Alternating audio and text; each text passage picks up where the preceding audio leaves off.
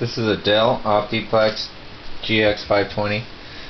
What I'm going to do is give you uh, an idea of how to replace the CD-ROM, the floppy, and the hard drives, or the one hard drive. Okay, first what you do is there's a thing right on the side here. You push on it, and the top pops up. So, I'm going to take Okay, normally, of course, you're going to want to unplug it and touch something metal to make sure that you don't short out anything. I'm not going to unplug mine because I want to show you something else. Okay, first let me show you the CD-ROM and how to take that out. There's a button right here. You pull up on that. Then this slides right on out and up. And you would just take it out right here, put the other one in, put the screws, there's one screw on this side, two screws on this side it looks like, but it, it kind of looks like somebody put this in because there should be four screws on each side. I'm not replacing any, anything today so I'm not going to do that and I might put in another screw but not right now. And you do the same with the floppy and right underneath there is the hard drive. I don't want to go that far. But basically you get the idea. To put everything back in, this is all that you do. Super simple. And you see, that just popped out because, I mean, there's a problem I have now. It's not a problem, but you really need to unplug it before you start doing this. I, I do this because, I don't know. Okay, and here's here's another thing I wanted to show you. Is your memory. If I can get a flashlight here, normally I want to show you exactly about the memory here. Because you're gonna know how to gonna want to know how to take that out to replace that memory here. So let me go ahead and take that out once again pull up on this, push that back, take that out. I'm just going to flip it over here. Okay, on the memory,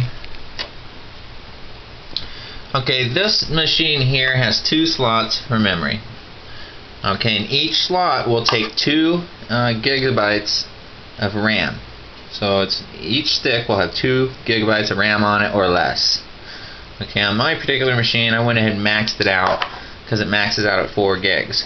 So what to do with this, you press on these slots, you press these two slots, pull it up, put your new memory in, do that for each one, and then then you're set and you're maxed out.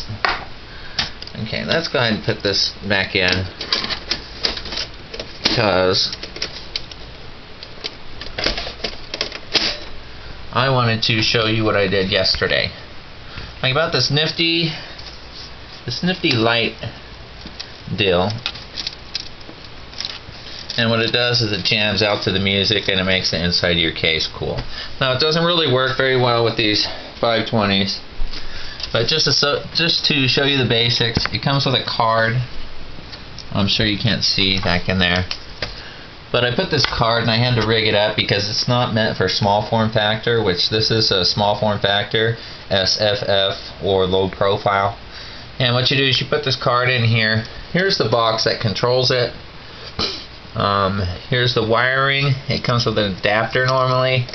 And I just used the power going to this and just kind of teed it off to go to the the unit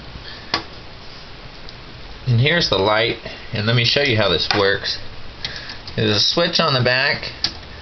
Okay that is when it comes to music.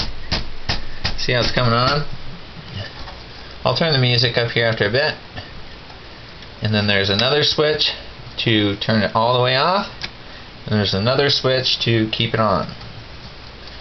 But let me show you how it works to the music. I think I have some music going here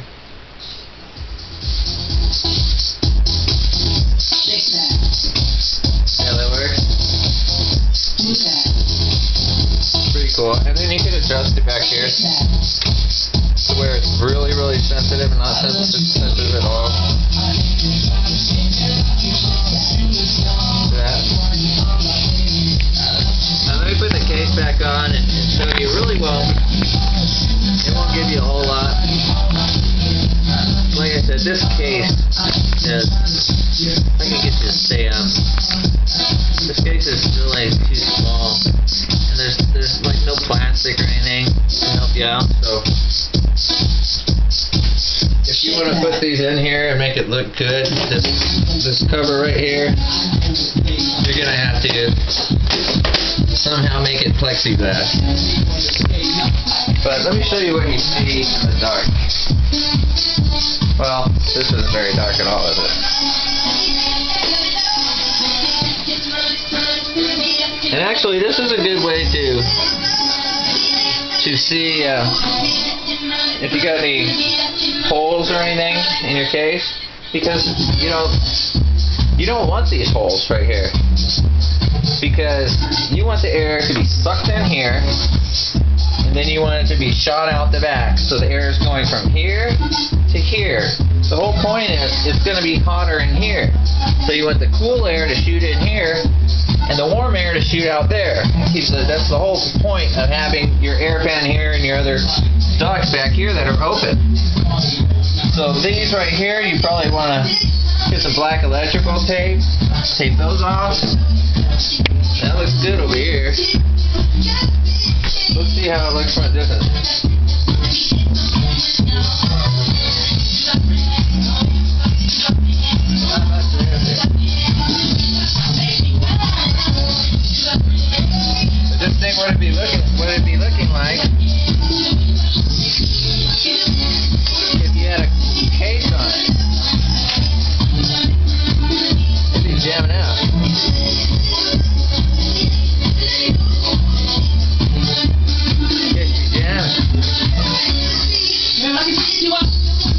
So you can get you can get a whole bunch of lights like these these cases on the GX520 and there's no place really to put these. You could probably wire one to over here. You don't want to put one in here because you're going to be probably replacing this a lot more than anything else. You don't want to put them right here because of the fan. You can maybe put one up here in, in case, unless you could get it underneath there, but I doubt it.